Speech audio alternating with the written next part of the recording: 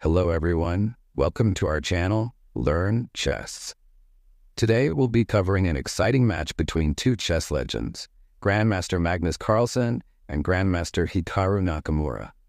In this game, Magnus plays with the black pieces while Hikaru commands the white pieces. The game kicks off with Hikaru opening with 1 e4 and Magnus responds with c5, entering the Sicilian defense. Hikaru follows up with knight to f3, and Magnus develops his knight to c6. Next, Hikaru plays bishop to b5, and Magnus counters with g6, preparing to fianchetto his bishop. Hikaru castles kingside, and Magnus continues with bishop to g7. Hikaru places his rook on the e-file, aiming to create central pressure, and Magnus responds with e5. Hikaru captures the knight on c6, and Magnus recaptures with his pawn.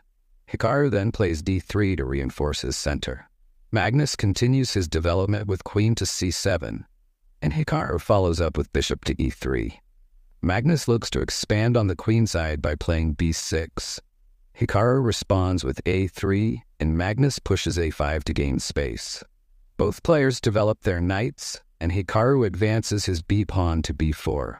Magnus strikes with knight to g4, and Hikaru captures a pawn. In response, Magnus takes the bishop on e3 with his knight. Hikaru recaptures with the pawn, and Magnus swiftly takes the pawn on c5, opening up the queenside. Hikaru brings his knight to c4, aiming for a strong central position, while Magnus calmly develops his remaining bishop. Hikaru then places his knight on the d-file, and Magnus castles kingside. Hikaru plays rook to b1, and Magnus answers with rook to b8, leading to a rook exchange.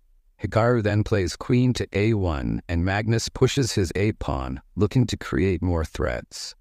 Hikaru replies with queen to c3, but Magnus brings his rook to b5 to fortify his position. Hikaru in turn plays rook to f1, and Magnus pushes his f-pawn to create further counterplay. After a few more moves, with h3 and h5 on the board, the queens move back to a1, and both players agree to a draw. With this draw, Magnus Carlsen secured the title of the 2019 Rapid Chess Champion. If you enjoyed this video, don't forget to subscribe to our channel for more great content. And if you'd like to support the channel further, consider contributing through Super Thanks to help us continue bringing you high-quality chess analysis.